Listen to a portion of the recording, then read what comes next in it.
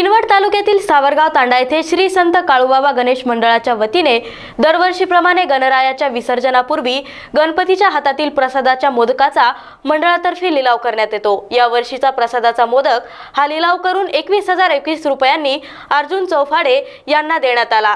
नांदेड जिल्ह्यातील किनवट तालुक्यातील सावरगाव तांडा येथील श्री संत काळूबाबा गणेश मंडळ गणरायाच्या विसर्जनापूर्वीची शेवटची आरती झाल्यानंतर दरवर्षीप्रमाणे याही वर्षी गणरायाच्या हातातील प्रसादाच्या मोदकाचा मंडळातर्फे लिलाव करण्यात येतो.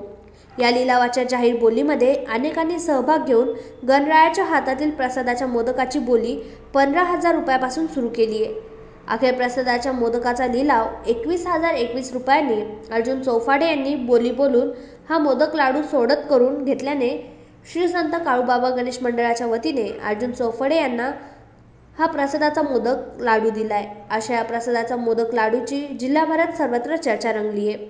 अशा या गणरायाच्या विसर्जनानिमित्ताने गावातील सर्व महिला आणि पुरुषांनी विविध गाण्यावर सकाळपासून ठेका धरत मोठ्या उत्साहात विसर्जन पार पाडलंय.